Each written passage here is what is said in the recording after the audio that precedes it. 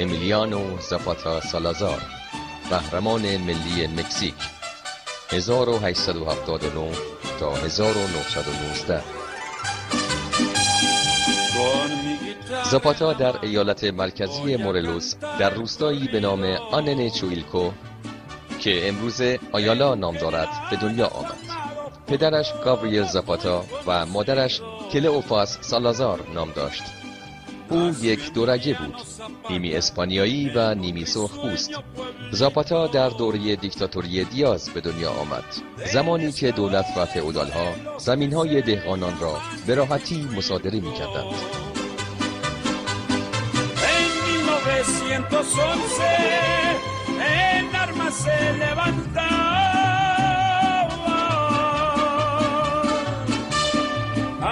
la Sierra Zuliana, don Emiliano Zapata.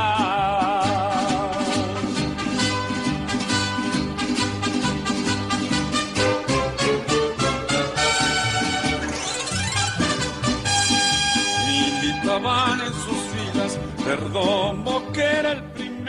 این آغاز یک جنگ است نبردی که بعدها نه تنها در آمریکای لاتین که در سراسر جهان باعث شهرت زاپاتا خواهد شد زاپاتا معتقد بود اگر به ظلم و فساد مهلت داده شود به صورت عادت در خواهد آمد و این عادتی مرگبار است. به این ترتیب نبرد در گرفت. زاپاتا سواد خواندن و نوشتن نداشت. آمی مردی روستایی اما روشن زمیر و پاکباز او همیشه می گفت آموزش ایستادگی و دفاع از حق بزرگترین ویژگی یک انسان است. باید به همه آموخت از حق خود دفاع کنند در سال 1910 زاپاتا که در مناطق مرکزی و جنوب مکزیک می جنگید با پانچو ویلا که در مناطق شمالی در حال نبرد با نیروهای دیاز بود متحد شد. سیاستمدار لیبرال مکزیکی فرانچسکو مادرو نیز به این اتحاد پیوست و باعث تقویت آن شد. از این پس آنها توانستند با کمک همدیگر یک انقلاب اجتماعی برای زمین و آزادی را به پیش ببرند. سرانجام پانچو ویلا و امیلیانو زاپاتا به اتفاق یکدیگر و در رأس سپاه شورشیان وارد پایتخت شهر مکسیکو سیتی شدند و آن را تصرف کردند.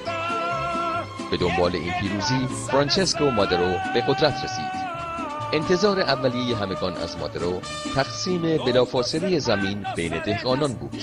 قولی که از پیش داده شده بود.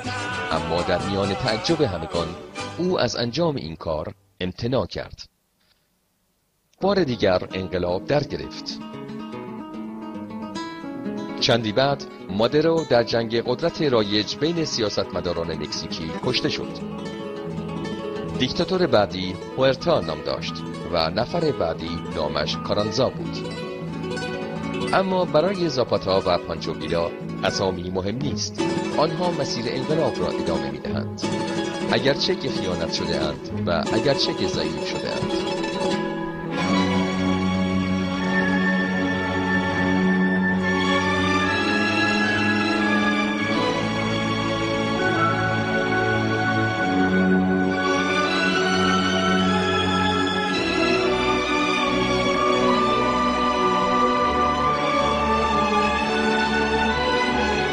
پانچو ویلا به تبعید می رود و زاپاتا در جریان یک توطعه در دهم آوریل 1919 به قتل می رسد.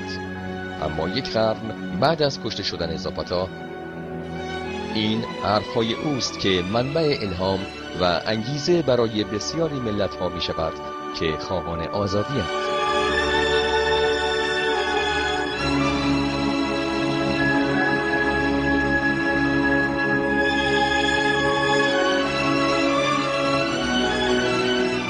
اگر به فساد و ظلم مهلت داده شود به صورت عادت در خواهد آمد و همانند موریانه وطن را از درون نابود خواهد کرد. ستم چیزی جز سلب حق دیگران و بیاعتنایی به انسانیت نیست. آموزش ایستادگی و دفاع از حق بزرگترین تکلیف یک انسان است. به مردم باید آموخت که از حق طبیعی خود دفاع کنند. کشاورز، کارگر و سرخپوست چه گناهی کردند که نباید زمین، سواد و ابزار کار داشته باشند. ثروتمند شدن از جیب دیگران با توسل به تقلب بزرگترین گناه است. نبرد با دولتی که به واقعیات و حقوق اتباع خود توجه ندارد کاری منطقی است. بهتر است ایستاده بر روی پاهایمان بمیریم تا فرو افتاده بر زانوانمان زندگی کنیم. زاپاتا آرزوهای زیادی نداشت. ممنوعیت مصادره عراضی کشاورزان برگرداندن عراضی مصادره شده به دهقانان دایر کردن آموزشگاه رایگان برای بیسوادان درمان عمومی و بازنشستگی برای روستانشینان آن آمی مرد بی سواد روستایی که خمیرمایه متناقضی از اسپانیایی های فاتح و سرخپوست های مغلوب و قتل عام شده داشت. آرزوهایش همه یک دست زیبا و انسانی بودند.